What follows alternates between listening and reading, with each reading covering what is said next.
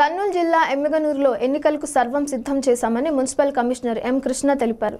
రాష్ట్ర ఎన్నికల కమిషనర్ జిల్లా కలెక్టర్ ఆదేశాలతో గతంలో ఎక్కడ మున్సిపల్ ఎన్నికలు ఆగిపోయాయో అక్కడ మళ్ళీ ఎన్నికలు జరిపే విధంగా ఏర్పాట్లు చేశామన్నారు. ఈ అవకాశాన్ని పార్టీలు వినియోగించుకోవాలని కోరారు. అలాగే రెండు మార్చి రెండు మూడు తారీఖులలో ఈ అభ్యర్థుల విత్డ్రాయల్స్ తీసుకున్నారు అలాగే పదో తారీఖు పోలింగ్ ఉంటుంది. పద్నాలుగో తారీఖు కౌంటింగ్ ఉంటుంది. దీనికి సంబంధించి మనకు ఎమ్మినూరు మున్సిపాలిటీలో ముప్పై నాలుగు వార్డులు ఉండగా దాదాపు నూట ఎనభై ఏడు నామినేషన్లు ఇప్పటి వరకు ఫైల్ అయినాయి.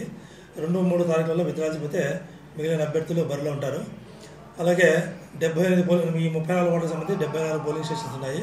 డెబ్బై నాలుగు పోలింగ్ స్టేషన్లు కూడా ఇరవై నాలుగు ఏరియాలలో ఏర్పాటు చేయడం జరిగింది. మనకు ఇప్పుడు ఓటర్లు వచ్చేసి ఎనభై వేల మూడు వందల యాభై ఏడు మంది ఓటర్లు ఉన్నారు.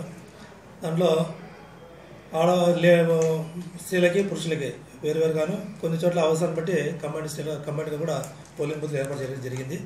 ఇప్పటివరకు మనకు పోలింగ్ సిబ్బంది సంబంధించి నాలుగు వందల ఎనభై నాలుగు మంది పోలింగ్ సిబ్బంది మనకు అవసరం అవుతారు దానికి సంబంధించి జిల్లా కలెక్టర్ గారు కూడా సిబ్బందిని డిప్యూట్ చేయడం జరిగింది. వాళ్ళకందరికీ కూడా నిన్ననే ఆర్డర్స్ అని సర్వీస్ చేశాము. తర్వాత వాళ్ళకి ఐదో తారీఖున ట్రైనింగ్ ఉంటుంది.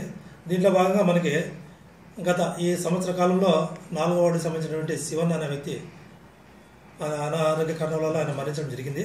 దానికి ఈరోజు ఇరవై తారీఖు ఉదయం పదకొండు గంటల నుంచి సాయంత్రం మూడు గంటల ఆయన నామినేషన్ ఫైల్ చేశారు. కేవలం ఆ ఒక్క పార్టీ తరఫున వ్యక్తి చనిపోయిన కాబట్టి ఆ ఒక్క పార్టీ తరఫున ఒక్కరు మాత్రమే నామినేషన్ వేయాల్సి ఉంటుంది.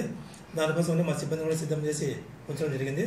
అలాగే పోలింగ్ అయిన తర్వాత పద్నాలుగో తారీఖున కౌంటింగ్ ఉంది కాబట్టి ఈ కౌంటింగ్ని అరవై ఎనిమిది టేబుల్లతో అంటే ముప్పై నాలుగు వార్డులు ముప్పై నాలుగు వార్డులకు కానీ ఒక్కొక్క వార్డుకు రెండు టేబుల్ల తరఫున రెండు టేబుల్ల చొప్పున నవోదయ డ్రామా హాల్లో కౌంటింగ్ హాల్ను ఏర్పాటు చేయడం జరిగింది. అరవై టేబుల్లతో ఒకేసారి